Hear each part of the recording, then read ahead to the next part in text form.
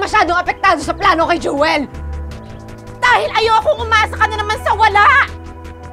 Dahil pinoprotektahan kita dahil ayokong masaktan ka! Mas masasaktan ako kapag hindi ko ginawa ang lahat para mapatunay na anak ko siya! Alam mo, hindi mo ka naiintindihan eh. Palibhasa, ni minsan, hindi ka naging isang ina!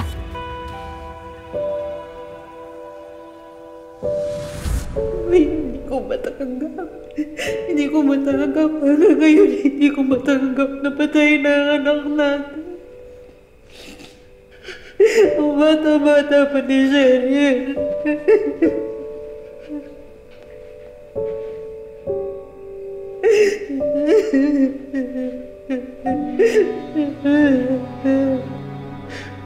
Kasalanan lang ito ni Doc Franco.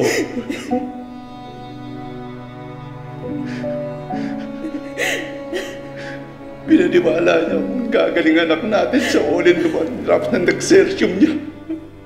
Pero sinungaling siya.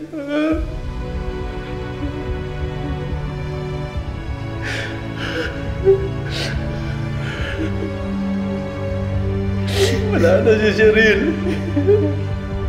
Kailangan magbayad ng gumawa sa anak ko. Victor, Victor, pangako mo sa akin. Wala kang gagawin na pagsisisihan mo. Victor! Victor, hinala kita. Hinala kita. Nakita ko sa mata mo. Para mo nangawa. Huwag. Hindi ko kakayanin na wala ka sa akin. Victor, ano mo na awa, mangako ka. Mangako ka, wala kang gagawin. Mahal. Nag-iisang anak natin si Cheryl. Hindi ko hayaan ka na lang pagkamatay ng anak ko. Victor, Kailangan magbayad si Dr. Blanco. Victor,